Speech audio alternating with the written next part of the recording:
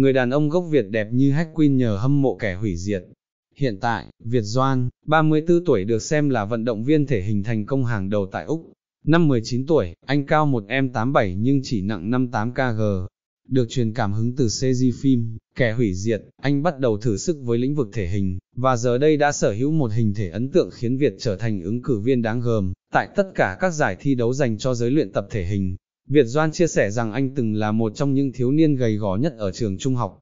Sinh ra và lớn lên ở thủ đô Canberra, Úc, Việt Doan chia sẻ về chặng hành trình luyện tập của mình, khi còn là một đứa trẻ, những cậu bé luôn mong ước được sở hữu thân hình to lớn, vạm vỡ và cơ bắp quần cuộn, nhưng tôi không bao giờ nghĩ mình lại có thể sở hữu một thân hình, như hiện nay tôi đang có, cũng không thể nào hình dung rằng tôi lại có thể làm những việc như tôi đang làm. Khi mới bắt đầu bước vào lĩnh vực luyện tập thể hình, Việt Doan hào hứng theo dõi sự kiện thường niên Agnosos Festival, được tổ chức tại Mỹ dành cho giới luyện tập thể hình chuyên nghiệp. Tên sự kiện được lấy theo tên của tài tử kẻ hủy diệt Arnold Schwarzenegger. Anh tìm thấy niềm cảm hứng luyện tập từ những sự kiện như thế này. Về sau, Việt Doan đứng thứ hai chung cuộc tại sự kiện quốc tế, Arnold Classic Europe 2017.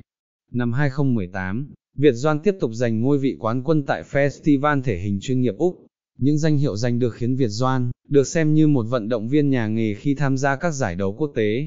Năm nay, anh đã nhận được lời mời tham gia hạng mục Agno Classic, dành cho những vận động viên thể hình chuyên nghiệp thi đấu tại Agno Sports Festival, Mỹ. Việt Doan là vận động viên nam người Úc đầu tiên thi đấu ở hạng mục này. Mặc dù rất yêu thích những cuộc thi thể hình, nhưng Việt Doan thừa nhận rằng anh cũng gặp phải những áp lực, và phải chấp nhận những hy sinh cho bộ môn thể thao này. Đó là những tháng luyện tập với cường độ cao, và phải tuân thủ kỷ luật nghiêm ngặt trước khi chuẩn bị tham gia một cuộc thi nào đó.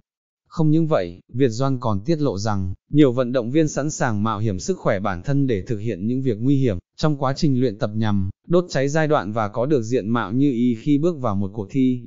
Phải chia sẻ thành thực rằng, đây không phải bộ môn thể thao hoàn toàn tôn vinh sự luyện tập khỏe mạnh, tốt cho sức khỏe, những gì mà vận động viên buộc cơ thể của họ phải trải qua, những bài tập nhiều khi quá sức, nhưng chế độ ăn nghiêm ngặt đôi khi khiến cơ thể bị quá tải, Việt Doan chia sẻ. Sở hữu nụ cười thân thiện, Việt Doan luôn khiến những người xa lạ cảm thấy anh khá dễ gần, vì thế, trong chuyến du lịch gần đây tới đảo Bali, Indonesia, rất nhiều người đã đứng xếp hàng để được chụp hình với anh.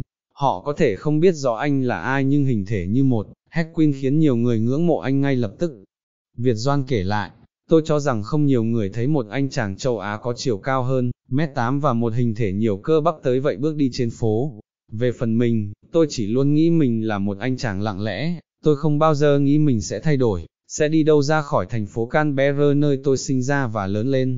Nhưng cuộc sống của tôi đang càng lúc càng thay đổi, bởi những cơ hội mới mở ra từ một niềm đam mê.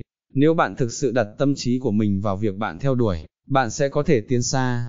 Mặc dù vậy, để không gây nên những ảo tưởng huyễn làm nản lòng những người hâm mộ, Việt Doan chia sẻ thẳng thắn rằng, không phải cứ chăm chỉ luyện tập là sẽ có được thể hình ấn tượng, như những vận động viên chuyên nghiệp.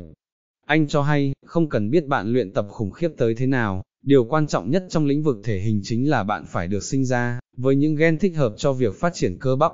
Đó chính là mấu chốt của vấn đề và một hình thể lực sĩ không phải điều mà ai, cũng có thể đạt tới chỉ bằng việc luyện tập tích cực và ăn uống phù hợp. Trong sự nghiệp của một vận động viên thể hình chuyên nghiệp, Việt Doan cảm nhận rõ những áp lực không ngừng tăng lên, nhưng sau tất cả, anh khẳng định, rằng mình vẫn có thể tận hưởng những niềm vui giản dị đời thường sau những thời điểm khắc nghiệt, mà nghề nghiệp đòi hỏi. Trong những buổi họp mặt gia đình, các thành viên sẽ luôn mời nhau, gắp cho nhau món này món khác, tôi không bao giờ từ chối, tại sao không thể ăn uống ngoài kế hoạch một chút, Việt Doan cho hay. Trong gia đình anh, các thành viên vẫn thường nấu phở bò, bún nem, về phần mình, anh thích cả pizza và burger, sau những đợt luyện tập tích cực, Việt Doan thường dành tặng thêm cho bản thân những chiếc bánh đâu nắt nhiều kem. Bích Ngọc theo ABC trên Daily Mail. Nhớ bấm đăng ký theo dõi để nhận được nhiều thông tin mới nhất.